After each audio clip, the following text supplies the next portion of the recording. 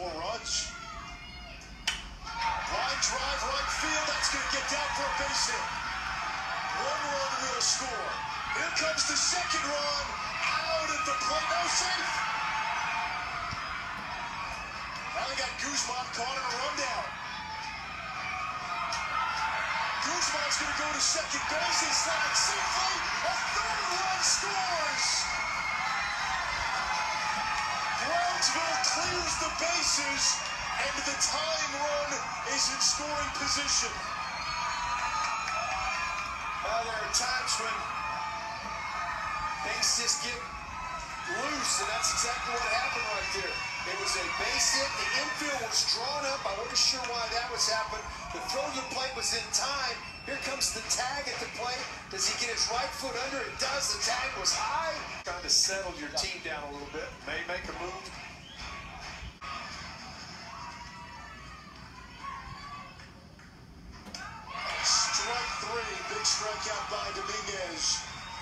But that's only the first pitch right there. He's been away, away, away, and then this pitch comes inside and gets it, gets it by Maldonado, who had had a couple of good swings in the at bat. You can see Guzman will stop at third. And the winning run is now on first base. And Keith with first and third, one out.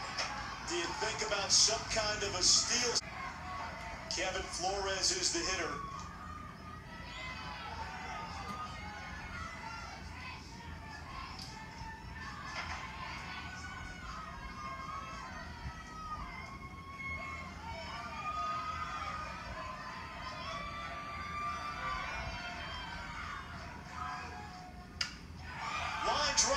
To the shortstop. Throw back to first. Double play to end the game.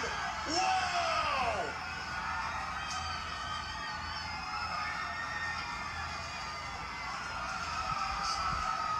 You know, it, it was going to end in dramatic fashion for somebody, one way or the other. Line drive to shortstop, make the play across the foot to dive back to first. I'm not sure he got to the bag. Every play is reviewed. This, this is being reviewed right now. The final play of every game is reviewed.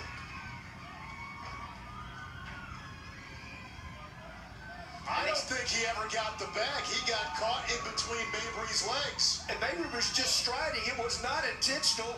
He did not try to draw, block the plate, but it's being reviewed. He was just striding out to catch the ball, the same as any first baseman. His hand never got to the bag. Garcia slid back. He just slid right into Mabry. I think that was a desperation attempt slide to get back. To get back. Put this result into context, Keith. Well, I've covered this event for a lot of years, uh, uh, and it's been played here in Waco since 2002, and we have not seen a Texas team from Texas West go 0-2 in this tournament. That's how large this is, and what a game, one of the best games we've had here over the course of the years.